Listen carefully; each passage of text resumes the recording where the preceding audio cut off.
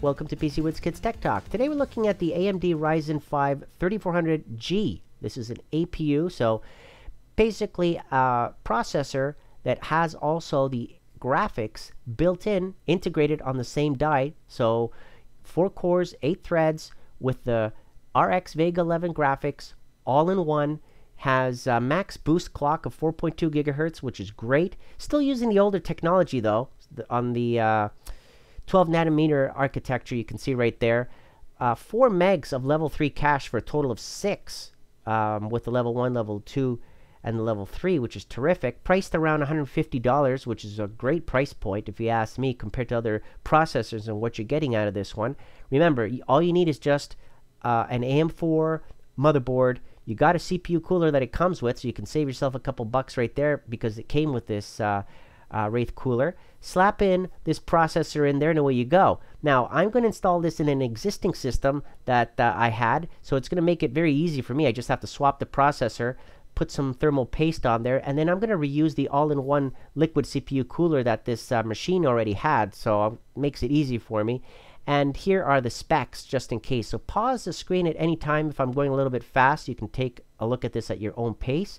Here we are in Windows 10 using CPU-Z, so you can see 4 cores, 8 threads, running it at default speeds. I didn't overclock nothing. It's running on an ASRock board, the B50 uh, 450M Pro 4 with the latest BIOS. Memory, I have it overclocked though at uh, 3200 megahertz because I can and it works. I gotta believe it. I mean, it's it says in the specs that it'll only go up to around 2933 megahertz for this processor, but I was able to get it beyond the XMP profile that it had to 3200. So that's great. Uh, you know, this processor uh, really worked really well with this board and this memory.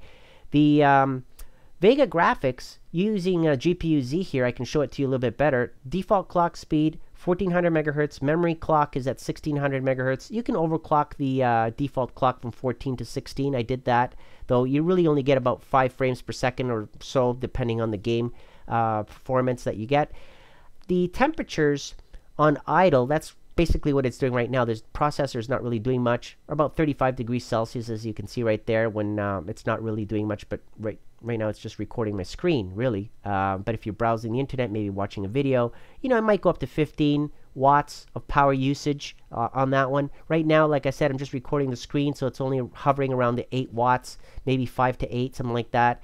Uh, so not a lot of power usage. is low power, right? So maybe you want to add this in uh, in a NAS. Maybe you want to make a mini uh, home theater PC or something like that. This is great for that as well. Some Fortnite gaming.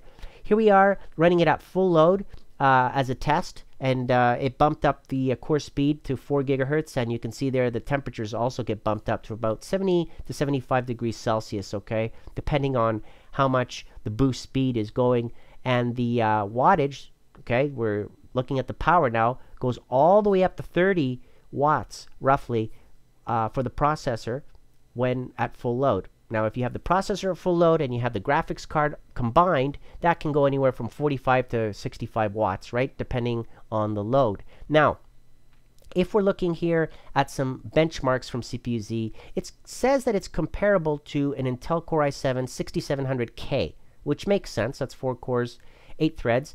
On the single core test, you can see here how it ranks to these other processors.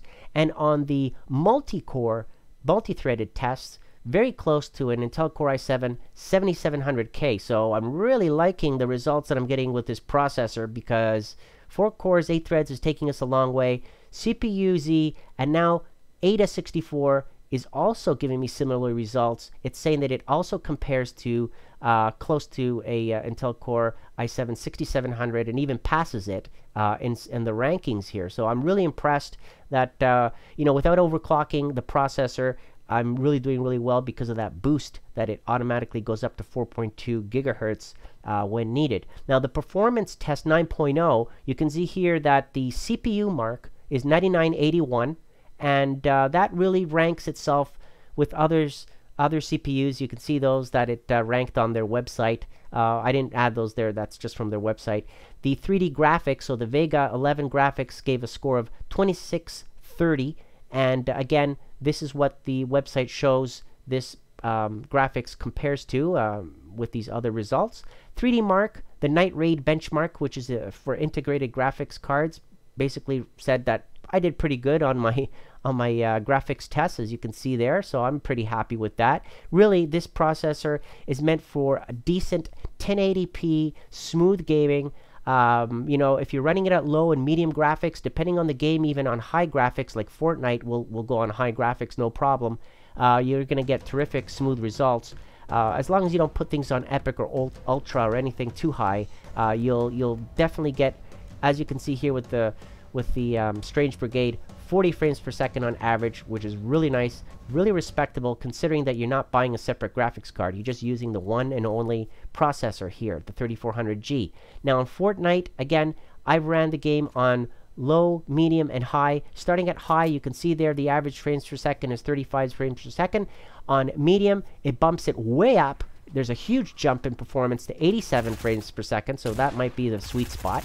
And then on low settings, 149 frames per second, which is crazy, but you know, depends on uh, what you want to do. Now, if you overclock this, you're going to get even more performance. And what I would suggest you do is don't overclock it too crazy. Just lock it in at 4.2 gigahertz and just have all eight threads, all cores all at once running at 4.2 gigahertz and you're going to see a performance gain there. As you can see here in AIDA 64 it exceeded the um, Intel Core i7 7700K and left the 6700K in the dust so very nicely done there by AMD with this older generation CPU because even though it just came out last year, it's still using the older generation technology to be honest. So a little bit disappointed there on that front. I uh, really was hoping that there would be a drastic change, but that's okay. Still the performance is comparable to those processors. You do save some seconds here. For example, seven seconds I saved when I overclocked with wPrime in that test. So that was, you know, a good little savings. It those add up. So those are the things that I liked, like I just mentioned. Um, and uh, you get what you pay for, right? $150. I mean, what do you want for $150? This is pretty darn good results, and you don't have to go out and buy a separate graphics card. Definitely recommend it for that. And um, if you want to build a NAS, an HTPC, or you just want to do some late gaming, hey, why not? I'd like to thank AMD for providing it. Comment below. Let me know what you think. I'll add the latest pricing in the description. And again, thank you for watching.